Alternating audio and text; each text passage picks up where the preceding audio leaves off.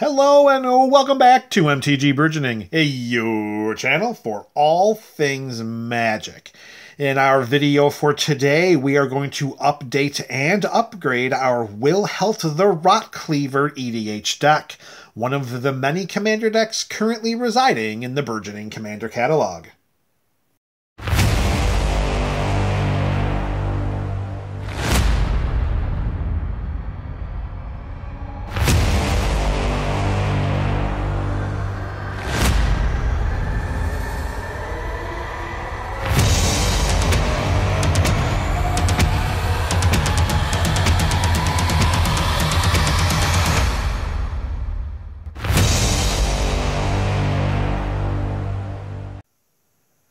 Greetings and salutations to the MTGBC. You are the MTG Burgeoning Community. Welcome back to another installment of the Up and Up series. Today, it's time to update and upgrade Wilhelt the Rotcleaver. This is just one of the many EDH decks that currently reside in the Burgeoning Commander catalog. You can access this by clicking on the playlist on MTG Burgeoning's YouTube page. In addition to that, down in the description, you can click the link to tappedout.net where you can see the updated deck list of this build as it stands right now. So for today, we've got a number of cards that are going to go in to help synergize exactly what we're trying to do in this zombie tribal build. And the first is, shockingly enough, a zombie. Going into the 99 of this Wilhelt build, it is Poxwalkers. Here we have a 3 1 zombie with Deathtouch for 2 and a black mana, straight from the Warhammer 40k commander decks. And whenever we cast a spell from anywhere other than our hand, we may return Poxwalkers from our graveyard to the battlefield tapped. So initially, I know what you're thinking that the only way we're going to be able to get Poxwalkers out of our graveyard is whenever we cast Wilhelt from the command zone. While it's time to start opening up your mind to greater possibilities. In the 99 of this build, we have numerous ways in which to cast spells from our graveyard and get Poxwalkers back from the graveyard for free back into play. How this is going to be beneficial for us is we have numerous death triggers among zombies we control in the current 99 of this build. Some of which read whenever this zombie, that whenever a zombie you control dies, each opponent loses one life. So if we can continuously sacrifice through one of our many sacrifice outlets, the Poxwalkers, get them into the graveyard, and then we say cast a zombie from our graveyard from one of our other effects, getting Poxwalkers back into play, we can definitely continue that loop and drain the table in due time time. Something a little more quickly and a little less painful for us to do, but more painful for our opponents, is there is a fantastic synergy between this card and Gravecrawler, in addition to Phyrexian Altar. We can sacrifice the Gravecrawler to the Phyrexian Altar, getting one black mana in return, sending it to the graveyard. We have another zombie in play, which is Poxwalkers. We use that black mana to cast Pox to, to cast Gravecrawler, bringing it back into play. We can vice versa do that with Poxwalkers as long as we have a third zombie on our side of the battlefield, and we can continuously sacrifice to the Phyrexian altar, draining the board. And as long as our opponents are unable to interact with the Phyrexian altar or our graveyard, we should have the board we should have the entire table drained lickety split. So with Poxwalkers and its fantastic synergy with the zombie tribe in and of itself, that's going in. It's going to replace the very selfish and to itself champion of the perished. This was a zombie for one black mana, was a 1 1, and whenever another zombie ETB is under our control, we would put a plus 1 plus 1 counter on this. That's all it does. It doesn't help out the team, it doesn't synergize with anything else other than itself and its ability to get bigger and bigger. And we're getting to the point now that the power level for zombies is getting higher and higher. And if that's the case, we need to look to zombies that are going to help synergize and make our other zombies even more powerful. And Poxwalkers offers this, this versatility much more than Champion of the Perished. This is a decision and a swap that's easier than Sunday morning. All right, card number two going in. It is, yes, another zombie, but it is the last zombie going into the 99 of this build today. And it is Calculating Lich, a 5 5 zombie wizard with menace for 4 and 2 black mana. Whenever a creature attacks one of our opponents, that player loses one life. Note the text on Calculating Lich. It doesn't have to be one of our creatures and it doesn't have to be just one of our opponent's creatures. All we need to have, all calculating Lich needs to see is that a creature attacks an opponent of ours, that player immediately loses one life. Also, notice it does not say a non token creature because we have so many spells and effects that create creature tokens. That is going to play into our wheelhouse very, very well. Calculating Lich helps to install a another uh, sorry helps to install another potential win condition in this build and let's face it it could help incentivize our opponents to attack our other opponents and also notice that that is a by creature by creature trigger. It's not whenever one or more creatures attacks, it's whenever one creature attacks. So it's creature per trigger and that is very, very powerful. So, with a zombie of such a robust mana value going into the 99, we want to be sure that we target another zombie close to that same CMC so that we don't start skewing our overall CMC average cost too rapidly or too wickedly or too grossly. Or you can add your own adverb here just take it in mind that we're trying to keep the mana values around the same. So with a 6 CMC going in, we're going to take out a 5 CMC that for all intents and purposes, isn't even in the same conversation of power level as Calculating Lich. That is Corpse Harvester, a 3 3 zombie wizard for 3 and 2 black mana. We can tap 1 in a black, tap this, sacrifice a creature, and search our library for a zombie card and a swamp card, and put them both into our hand. Yes, we do eventually get to get a zombie card and a land into our hand by sacrificing most likely one of our zombie tokens but it is slow. We're paying five mana for this, and its impact is not felt until our next turn. Whereas with Calculating Lich, we pay one more mana, and immediately we have a game ending threat on our side of the battlefield, particularly if we already have an army massive enough to take advantage of its life draining ability.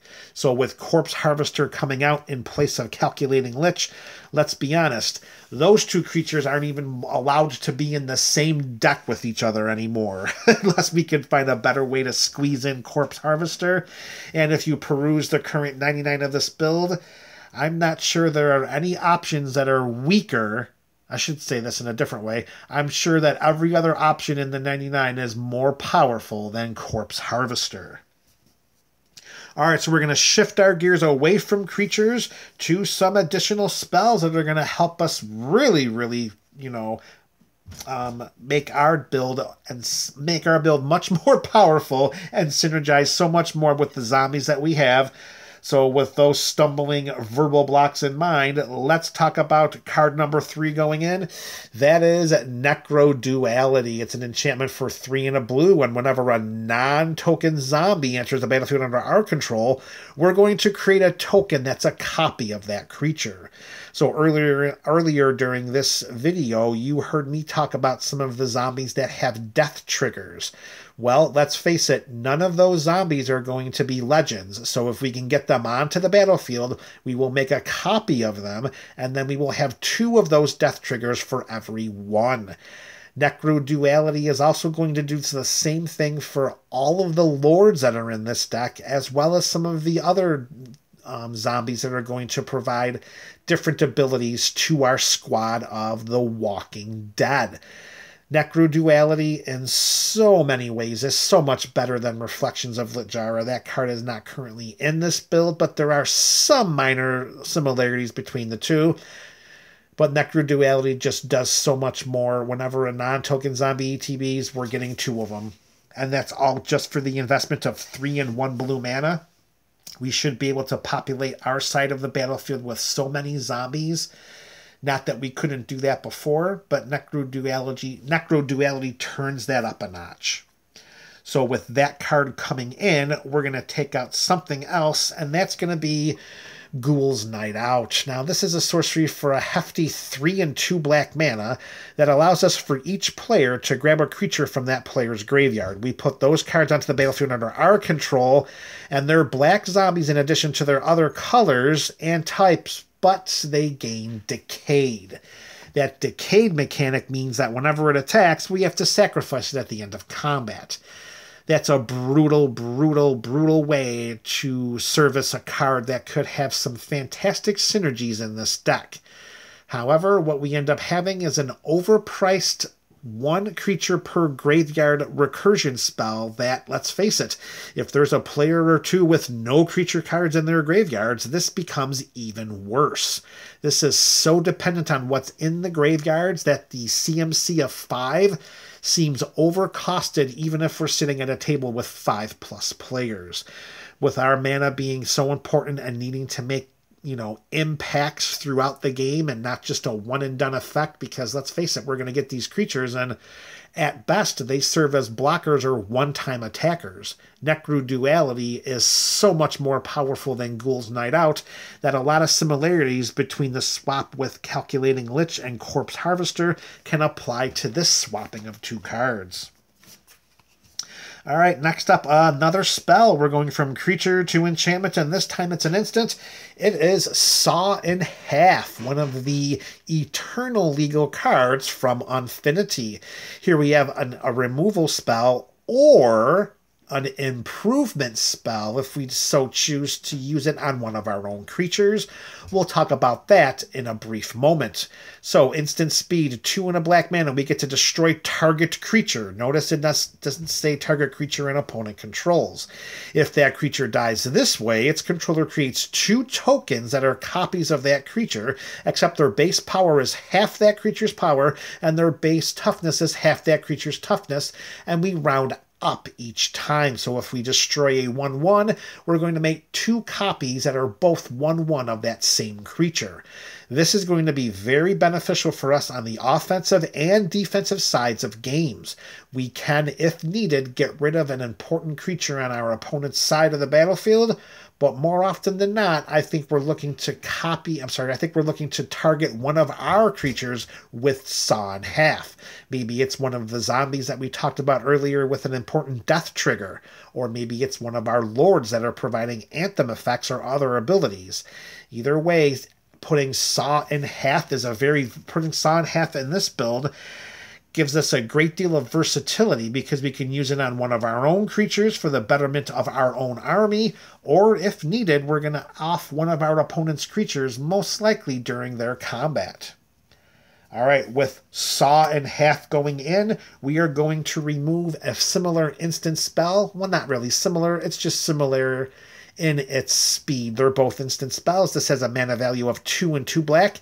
It is Vraska's Contempt. We get to exile target creature or planeswalker, and we gain 2 life. The exiling effect could be nice, but again, we're playing blue black, so we have no shortage of removal and disruption spells that are available to us. We have other ways in which to deal with threats that may have indestructible or protection. We have many sacrifice abilities and minus minus abilities that are in this build. So removing one of our potential exiling cards for something as versatile and powerful as Saw in Half, that's just going to make the overall scope of this build that much stronger. All right, one more spell to include, and then a couple of updates to the land base, and we're going to call it a day.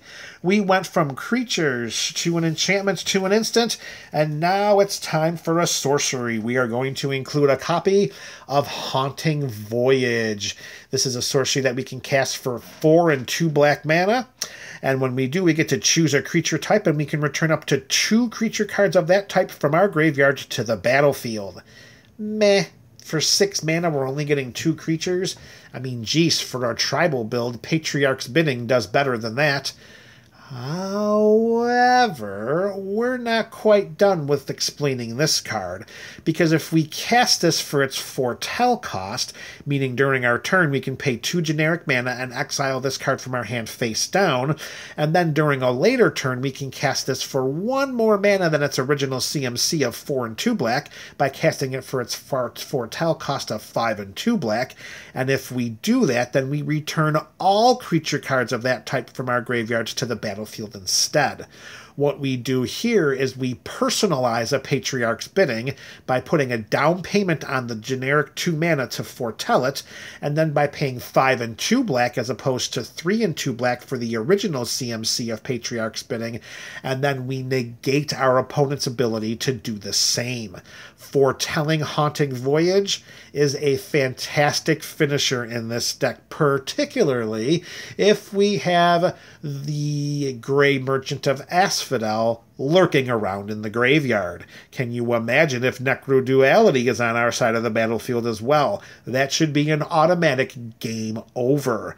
Replacing, I'm sorry, putting in Haunting Voyage and giving us the ability to personalize a Patriarch's Bidding is going to help this deck strengthen its already very strong graveyard recursion theme. And with that sorcery going in with the mana value of six, we're going to take out a mana value. Uh, we're going to take out another sorcery with a mana value of six, and this is going to be Zombie Apocalypse. So for the six mana that we're going to lose here. Now, granted, we're very rarely ever going to cost. Very, let me say that again. Very rarely are we ever going to cast Haunting Voyage for its 6 CMC because we want to make sure that we can foretell it. Still, it's a 6 for a 6, so we're going to get away with that little bit of a loophole. For Zombie Apocalypse, yes, we were able to return all zombies from our all zombie creatures from our graveyards to the battlefield, but they do return tapped. Having them tapped means that we're leaving ourselves susceptible to our opponents and their potential combats, and we invested six mana to do so. In addition, this also destroys all humans. While we may be able to pop off a couple of stray humans on our opponent's side of the battlefield, Believe it or not, we have a number of humans in the 99 of this deck that we do not want to die. And I have had Zombie Apocalypse in my hand gathering dust many, many times because I did not want to lose the powerful humans that we had on our side of the battlefield at that time. So, Haunting Voyage is going to do better than what Zombie Apocalypse ever could.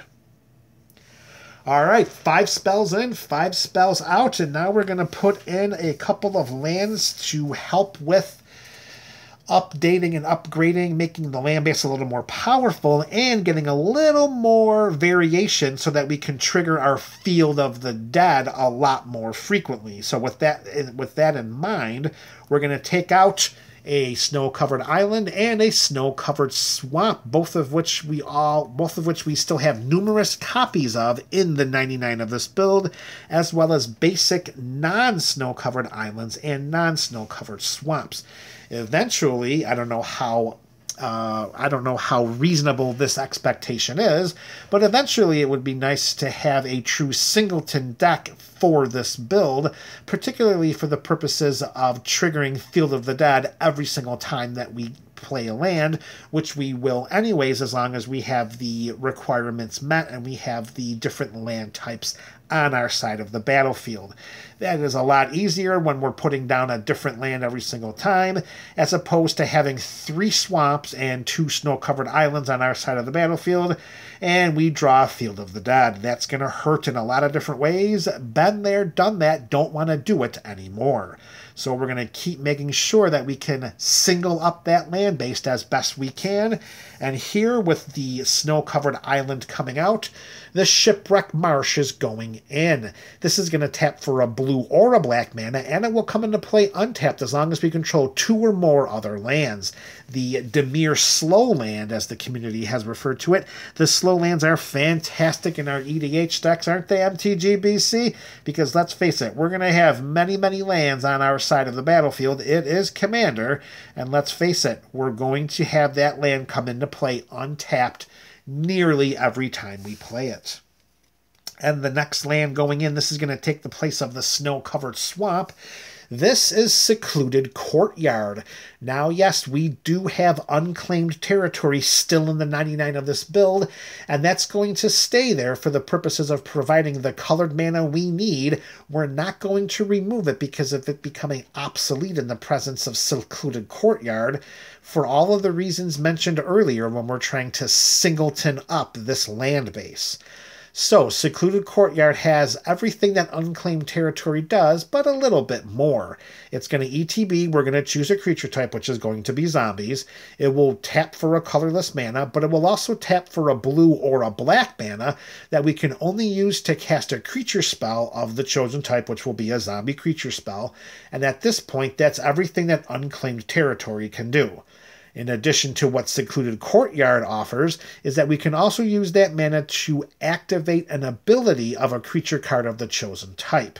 So that lets us use that mana a little bit more versa- versatilely, versatile that allows us to use the mana in a much more versatile way than what unclaimed territory currently offers.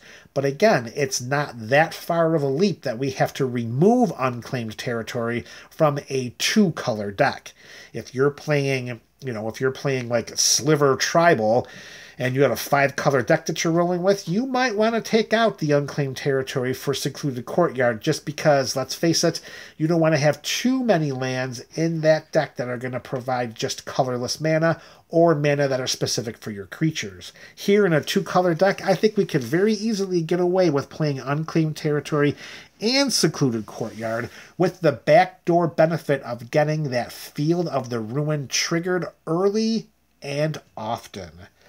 All right, MTGBC, we have updated and upgraded the Wilhelt the Rotcleaver zombie deck. Let me know your thoughts about these revisions in the comment section below. This is MTG Burgeoning, your channel for all things magic.